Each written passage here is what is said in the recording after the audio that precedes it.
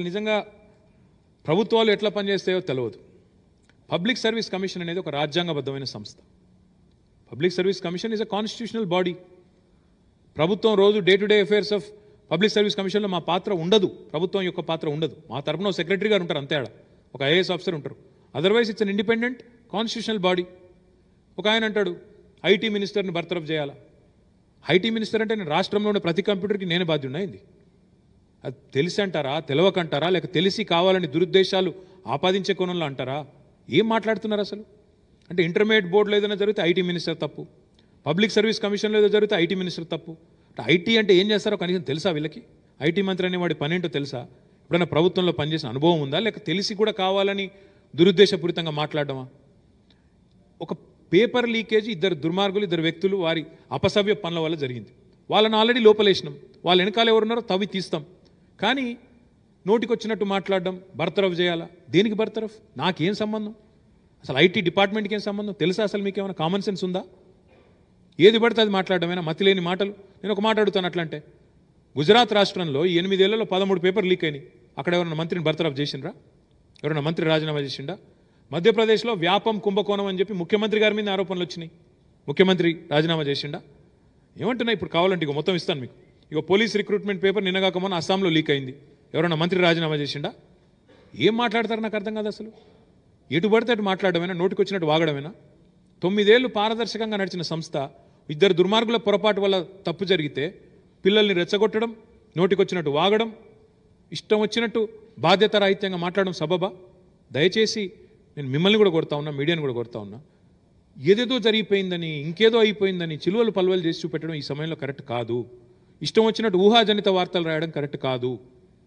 తెలుసుకోండి వివరణ తీసుకోండి. మేమేం తప్పు చెప్తే ఎస్ వీఆర్ రెడీ మేము తప్పు చెప్తే మేమేం తప్పు సమాచారం మీకు ఇస్తే వీఆర్ రెడీ ఫర్ స్క్రూటినీ అంతేగాని ఎటు పడితే అటు రాయడం ఎటు పడితే చెప్పడం ఎవరు పడితే వాళ్ళు మాట్లాడితే అదేదో గాస్పెల్ అన్నట్టు అదేదో భగవద్గీతనో లేకపోతే బైబిలో అన్నట్టు రాయడం ఎంతవరకు సమంజసం దయచేసి ఆలోచించండి. ఎవరు పడితే వారు ఆరోపణలు చేస్తే దానిలో నిజం ఎంత అబద్ధం ఎంత అది కూడా చూడకుండా రాయడం అనేది మంచిది కాదు. దయచేసి మీడియాతో కూడా నా విజ్ఞప్తి పిల్లలు ముఖ్యంగా సున్నిత మనస్కులు. వారిని ఉద్వేగ వారిలో ఉద్వేగాలు రెచ్చగొట్టే విధంగా లేనిపోని అపోహలు ప్రచారం చేసేవారు ఎవరైతే ఉన్నారో వారి విషయంలో దయచేసి మీరు కూడా జాగ్రత్తగా ఉండండి. మేము విద్యార్థులకు కూడా విజ్ఞప్తి చేస్తా ఉన్నాం. వీఆర్ స్టాండింగ్ బై యూ చాలామంది పరీక్షలు రాసిన వాళ్ళు బాధపడుతున్నారు. మళ్ళీ రాయాలా we understand your pain but అనుమానాల నీళ్ళు నీడలు వచ్చినప్పుడు అనుమానాలు ఇట్లాంటివి వచ్చినప్పుడు తప్పకుండా వాటిని నివృత్తి చేయాల్సిన బాధ్యత కూడా ప్రభుత్వం మీద ఉంటుంది. అందుకే ఈ మూడు ఉద్యోగాల పరీక్షలను రద్దు చేయాలని నిర్ణయం తీసుకున్నాం. ఎందుకంటే ఎవరికి అనుమానం రాకూడదు.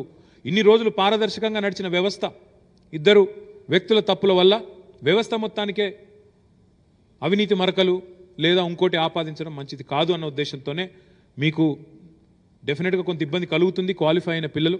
వారందరూ కూడా దయచేసి పెద్ద మనసుతో అర్థం చేసుకోవాలని కూడా విజ్ఞప్తి చేస్తా ఉన్నాం. ఎందుకంటే ఇది ఓవరాల్గా ప్ర మీ మీ మీ కెరియర్ కూడా ఒక అన అనవసరపు బదనాం కూడా మీకు కూడా మంచిది కాదు మాకు కూడా మంచిది కాదు. ఎందుకంటే ఏదో తప్పు జరిగిందని ఆ తప్పు జరిగి దానివల్ల కొంతమంది లాభం పొందినారని ఈ రకంగా ఏదైతే ప్రచారాలు జరుగుతున్నాయో వాటికి తెరదించాలి అంటే మరి అన దురదృష్టవశాత్తు అనివార్యంగా ఇది చేయాల్సి వచ్చింది తప్ప ఇంకోటి కాదు. పెద్ద మనసుతో ఆ పిల్లలు కూడా ఎవరెవరైతే క్వాలిఫై అయ్యారో వారు కూడా అర్థం చేసుకొని సహకరించాలని కోరుతూ సాధ్యమైనంత వేగంగా ఈ సిస్టమిక్ కరెక్షన్స్ అన్నీ కూడా చేసి ఫూల్ ప్రూఫ్ సిస్టమ్స్ తీసుకొని ఇంకేమైనా చిన్న చిన్న లోటుపాట్లు ఉంటే వాటిని కూడా సవరించుకొని డెఫినెట్గా ఎక్స్పర్ట్స్ అందరినీ కూడా సంప్రదించి. ఇవాళ పాత మాజీ చైర్మన్ గారిని కూడా పిలుచుకున్నాం గంటా చక్రపాణి గారు. వారిని కూడా అడిగాం మీ అనుభవం చెప్పండి మీ సూచనలు ఇవ్వండి సలహాలు ఇవ్వండి అని అడిగాం. అడిగిన తర్వాతనే డెఫినెట్గా ఇంకేమేం చర్యలు తీసుకోవాలో అవన్నీ కూడా తీసుకొని మరి తొందరలో మళ్ళీ ఈ పరీక్షలు రద్దయిన పరీక్షలు కూడా కండక్ట్ చేస్తాం. ఈ అపోహలు అనుమానాలు దుష్ప్రచారాలు నమ్మవద్దని చెప్పి కూడా తెలంగాణ యువతకి మళ్ళొక్కసారి విజ్ఞప్తి చేస్తూ మీ అందరికి కూడా ధన్యవాదాలు ఏమంటారు సిట్ విచారణ కాకుండా సిట్ పైన నమ్మకం లేదు సిట్టింగ్ జడ్జితో విచారణ జరిపించాలంటున్నారు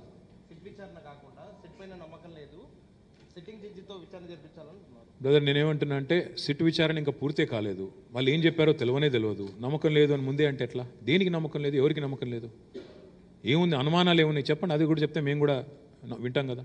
అంటే ముందే ముందే ముందే లేని అనుమానాలు సృష్టించే విధంగా మేము ప్రతిపక్షం కాబట్టి ఏదో మాట మాట్లాడాలి. వాళ్ళు ఎడ్డం వెంట మేము తెడ్డం అనాలి. అదేం లాజిక్ నాకు అర్థం కాదు. అల్టిమేట్గా కొన్ని సందర్భాల్లోనైనా కొన్ని సందర్భాల్లోనైనా ఐక్యంగా కదలాల్సిన అవసరం ఉంది జరిగిన తప్పును పొరపాటును సరిదిద్దండి అని చెప్పండి. Yes we stand by it కానీ ప్రజల్లో ముఖ్యంగా యువతలో లేనిపోని అనుమానాలు సృష్టించేటట్టు మాట్లాడడం మంచిది కాదు. అసలు మీకు తెలివి ఐటీ మంత్రి ఏం పని చేస్తాడో మీకు తెలుసా? ఏ కంప్యూటర్లో ఏం జరుగుతుందో చూడాల్సిన బాధ్యత ఐటీ మంత్రి అని అడుగుతున్నాడు. మేము అట్లే రామన్నా దీనిలో మేమేమి అడిగినామంటే ఈ దేశానికి స్వతంత్రం వచ్చినప్పుడు ఈ దేశానికి ప్రధానమంత్రిగా జవహర్ లాల్ నెహ్రూ గారు ఉన్నప్పుడు నాటి తొలి రైల్వే శాఖ మంత్రి ఎవరంటే లాల్ బహదూర్ శాస్త్రి గారు ఈ దేశానికి రైల్వే శాఖ మంత్రిగా పనిచేస్తా ఉన్నారు. అనుకోకుండా వారు రైల్వే మంత్రి అయినటువంటి ఒక సంవత్సరం తర్వాత ఒక రైలు ప్రమాదానికి గురై కొంతమంది ప్రజలు ఆ రైల్లో ప్రయాణం చేస్తున్నటువంటి ప్యాసింజర్లు చనిపోయింది రమణ మరి నీకున్న నీ తెలివితేటలు బహుశా లాల్ బహదూర్ శాస్త్రి గారికి లేవనుకుంటా. ఆ రోజు లాల్ బహదూర్ శాస్త్రి గారు నేను ఆ రైలు ఏదైతే యాక్సిడెంట్ అయిందో ఆ రైలుకు నేను డ్రైవర్ని కాదు కదా నేనెందుకు రాజీనామా చేయాలని చెప్పి లాల్ బహదూర్ శాస్త్రి గారు ఆలోచించలేదు. రైలు ప్రమాదం జరిగింది. ఆ ప్రమాదంలో కొంతమంది రైల్లో ప్రయాణిస్తున్నటువంటి ప్రయాణికులు చనిపోయినరు. రైల్వే శాఖ మంత్రిగా ఇది నా బాధ్యత అని చెప్పి ఈ దేశానికి తొలి రైల్వే శాఖ మంత్రిగా పనిచేసినటువంటి లాల్ బహదూర్ శాస్త్రి గారు శాస్త్రి గారు ఆ రోజు తన రైల్వే మంత్రిత్వ శాఖకు రిజైన్ చేసిండు. మరి ఇవాళ లెక్క టీవీలు పేపర్లు ఉంటే పేపర్లతో కూడా గద్దరిస్తున్నట్టున్నాడు. ఊర్లలో ఒక సామెత చెప్తారు ఆవు పొలంలో మేస్తే దూడ గట్టు మీద మేస్తుందా అని. అయ్య పేపర్లను బెదిరిస్తుంటే కొడుకు ఏం చేస్తాడు? అంతకంటే ఎక్కువ మస్తు అడిగినవులే సహకారం ఉండాలి ఓపిక ఉండాలి మాట్లాడుతున్నావు అని మీడియా మీద కూడా ఎదురు దాడి చేస్తా ఉన్నారు కేటీఆర్ గారు. మీ నాన్నకంటే బాగా చదువుకున్నావు వివిధ దేశాలు తిరిగి వచ్చినావు కొంచెం సంస్కారం తెలిసిన వ్యక్తివి మర్యాదగా మాట్లాడతామని అనుకుంటే మీడియా మిత్రులు రకంగా బెదిరించేటువంటి ధోరణిలో కేటీఆర్ గారు మాట్లాడడం అనేది దురదృష్టకరం. ఇది ప్రజాస్వామ్యాన్ని కూని చేయాలనేటువంటి మీ ఆలోచనకి మీ మీ యొక్క అహంకారానికి ఇది పరాకాష్ఠగా ప్రజలందరూ కూడా భావిస్తా ఉన్నారు. అందుకని కేటీఆర్ గారు ఎస్ ఐటీ శాఖ మంత్రిగా నువ్వేం చేయాలనో మాకు తెలుసు. జన్వాడలో ఫామ్ హౌజులు కట్టుకోవద్దు కానీ నువ్వు కట్టుకుంటావు.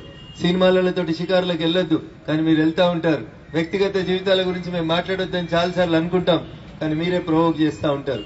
నేనేం చేయాలనో మీకు ఎవరికైనా తెలుసా అన్నాడు. నీ జాగలో కూర్చోబెడితే ఏం చేయాలనో అంతకంటే నీకంటే బాగా చేసి చూపెడతాం రామన్న. అందుకని అహంకారం మంచిది కాదని చెప్పి కేటీఆర్ గారికి సందర్భంగా తెలియజేయదలుచుకున్నాం. రాజకీయాల్లో నీతి నిజాయితీ విలువలు ఉండాలి విలువలకు పట్టం కట్టాలి రాజకీయాల్లోకి కొత్త తరం రావాలి భవిష్యత్ తరాలలో ఉన్నటువంటి కొత్త కొత్త వాళ్ళు చదువుకున్న వాళ్ళు రాజకీయాల్లోకి రావాలంటే కొంచెం విలువలతో కూడినటువంటి రాజకీయాలు చేయాలి మిస్టర్ కేటీఆర్. అందుకనే నిన్ను రాజీనామా చేయమని ప్రతిపక్షాలుగా మేము అడుగుతా ఉన్నాం తప్ప నువ్వు ఉంటేంది నువ్వు పోతేంది తుమ్ము తూడిపోయే ముక్కు. ఆరు నెలల తర్వాత ఎప్పుడు ఎలక్షన్లు వస్తే అప్పుడు నీ ప్రభుత్వాన్ని నేను మీ నాయనని తీసుకుపోయి బంగాళాఖాతంలో వారిస్తేందుకు తెలంగాణ సమాజం అంతా సిద్ధంగా ఉంది. బాగా మాట్లాడుతా ఉన్నాడు. ఎంత అహంకారం అంటే అంత అహంకారం పెరిగిపోతా ఉంటుంది. ఈ రకమైనటువంటి పనులు చేయడం వల్ల ప్రజలలో ఒక రకమైనటువంటి ఇబ్బందికరమైన పరిస్థితులు వస్తా ఉన్నాయి. తెచ్చుకున్నాం వచ్చిన తెలంగాణ ఎట్లుండాలని కోరుకున్నాం సబ్బండ వర్ణాలు బాగుండాలి అన్ని వర్గాల ప్రజలు బాగుండాలి అని కోరుకున్నాం. ఎప్పుడన్నా మా పిల్లలు ఆలోచించాలి డిగ్రీ చదువుతున్నటువంటి మా యువ సోదరిమణులు ఎప్పుడన్నా సర్పంచులు ఆత్మహత్య చేసుకోగా చూసుకుర్రా చూసిండ్రా. కానీ బంగారు తెలంగాణ లక్షలాది రూపాయల బడ్జెట్ ఉందని చెప్తున్న ఈ ఈ పరిపాలనలో సర్పంచులు తాము చేసినటువంటి పనులకి బిల్లులు రాక వడ్డీలు కట్టలేక ఆత్మహత్య చేసుకుంటున్నటువంటి పరిస్థితి గొప్పగా బంగారు తెలంగాణ అని చెప్పుకునేటువంటి తెలంగాణ రాష్ట్రంలో సర్పంచులు ఆత్మహత్య చేసుకునేటువంటి దుస్థితికి తీసుకొచ్చిన మిస్టర్ కేటీఆర్. దానికి సిగ్గుతో తల వంచుకుంటే మంచి ఉంటుందని చెప్పి ఈ సందర్భంగా ఈ ప్రభుత్వానికి మేము సూచిస్తా ఉన్నాం. ఐదు రోజుల క్రితం అనుకుంటా మన గిన్నెకి కూడేలి కౌతలు పోతే ఒక ఊరు ఉంటుంది. బీబీపేట అనే ఒక ఊరు. బీబీపేట అనే ఒక ఊర్లో ఒక గ్రామ పంచాయతీలో పనిచేసేటువంటి ఒక కార్మికుడు. జనవరి ఫస్ట్ నుంచి జీతం రాలేదని ఆరు నెలల గర్భవతి అయినటువంటి తన భార్య కూడా గుర్తుకు రాలేదు ఆయనకి. గ్రామ పంచాయతీ కార్యాలయంలో ఉన్న ఒక చెట్టుకి ఉరేసుకొని ఆత్మహత్య చేసుకున్నాడు బీబీపేటలో ఒక గ్రామ పంచాయతీ కార్మికుడు. ఎంత వస్తుంది గ్రామ పంచాయతీ కార్మికుల జీతం అంటే ఎనిమిది వేల ఐదు వందల రూపాయలు ప్రతి నెల మీ ఊర్లలో పనిచేసేటువంటి గ్రామ పంచాయతీ మల్టీపర్పస్ వర్కర్లకి ప్రభుత్వం ఇచ్చేటువంటి జీతం ఎనిమిది వేల ఐదు వందల రూపాయలు. ఏం చెప్తాడు ఆర్థిక మంత్రి? మూడు లక్షల కోట్ల బడ్జెట్ పెట్టినాం.